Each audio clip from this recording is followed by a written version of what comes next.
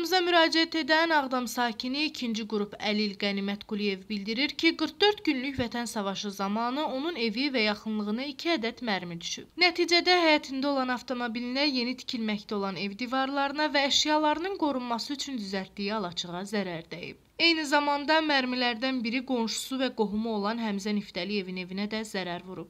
Vətəndaş bildirir ki, əlilliyə görə aldığı müavinətı aidiyyatı orqanlara məktub göndərmək üçün xərcləyir. Lakin ona məsələnin həlli yolunda bir cavab verilmir. Ağdam rayon icra hakimi Vaqif Həsənovun isə ümumiyyətlə qəbuluna düşə bilmədiyini iddia edən vətəndaşın daha ətraflı öz dilindən eşidək. Mən Quliyev Qənimət xanlaroğlu, Ağdam şəhər sakiniyəm. Məcburi köçkün kimi hal-hazırda İmamqulubəyli kəndində məskunlaşmışıq. Problemim odur ki, ma deyən bu 44 günlük müharibədə deyən ziyanı heç bir müraciət eləsək də hamısı kağız üzərində qalır. Heç bir prezidentə çatır, çatmır bilmirik, amma bizim şikayətimizə baxan yoxdur. Heç bir əhəmiyyət vermirlər. Sizin qapınıza mərmi düşüb də yəqin Bəli, ki? ikisi.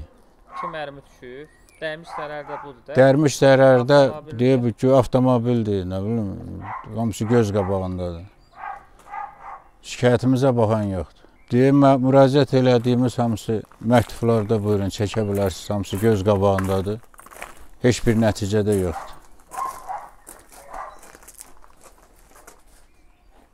Bunlar sizə gələn cavablardır da. Bəli. Cavab gəlir ki, Ağdam rayon icra hakimiyyətinə müraciət elə. Ağdam rayon icra hakimiyyətinə də heç tapırıq ki, müraciət eləyək.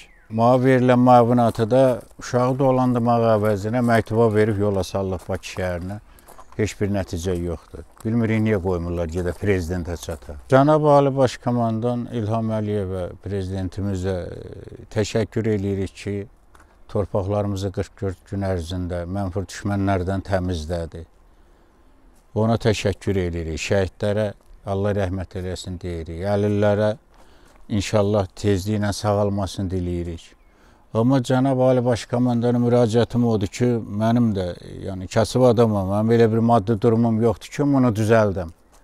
Heç olmasa mənə də sərəncam versin, köməklik eləsin, bunu düzəldim. Mənim uşağımın çörək ağacıdır. Ayrı bir yerdən dolanışığım yoxdur. Komissiyadır, yerli Ağdam orqanlarıdır. Heç biri baxmırlar. Heç birinin qəbuluna düşənmirik ki, kimik biz, niyə yaşayırıq burada? Heç bir nəticəsi yoxdur. Hamıya veriblər. 200 min Ağdam əhalisi alıb bir dənə məni seçib tullayıblar qırağa. Nədir maraq bilmirəm. Özünüzdə Qarabağ əlli. Özüm də Qarabağlı, baxan yoxdur. Dəfələrlə getmişəm icra hakimiyyətinin qəbuluna, deyir qəbul eləmir. Maşından düşür, içəri qap arxa qapıdan girir, qabaq qapıdan çıxıb gedir. Getmişəm, müraciət edirəm, məni Əbdələlinin üstə göndərir. Baş memarlıq burada nə var ki? Baş memar maşın düzəldir. Düzələcək, belə olacaq, elə olacaq. Deyir texniki səhv olub. Sənin sənətini gec göndərmişik, nə bilim, nə etmişik. Nəyə görə texniki səhv olur? Bu da texniki səhv olar. İkinci düşübdü Niftaliyev Həmzə mənim məhləmə, o yaşadığım dahalın böyrünə. Oradan keçib onun evin, Navesin. Nə bilim, kombisinin zadını dağıdıb. Burada da qəlb üzləri var. Bəli, bunda da var, evdə də var. Harda yoxdur ki? Bu da mənim qaynımın evidir. Bizə düşən top mərmisi nəticəsində qəlpələr buna da ziyanını vurub. Navesinin lambirinidir, evin şüşələridir, kombisidir. Komissiya yazımı gəldi, girdi, amma yazıb nəticəsi yoxdur. Girdi, baxdılar. Amma özlərində qaralama apardı, heç bir axtı zadı yoxdur. Ev yəsiyyəti ilə əlaqəli Bakıdadır, xəstədir, yatır. Heç o vaxtdan ordadır, gəlib çıxmıyor.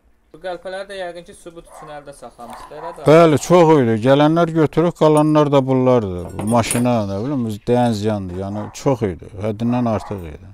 Qeyd edək ki, Kanal 13 səsləndirilən fikirlərə görə məsuliyyət daşımır.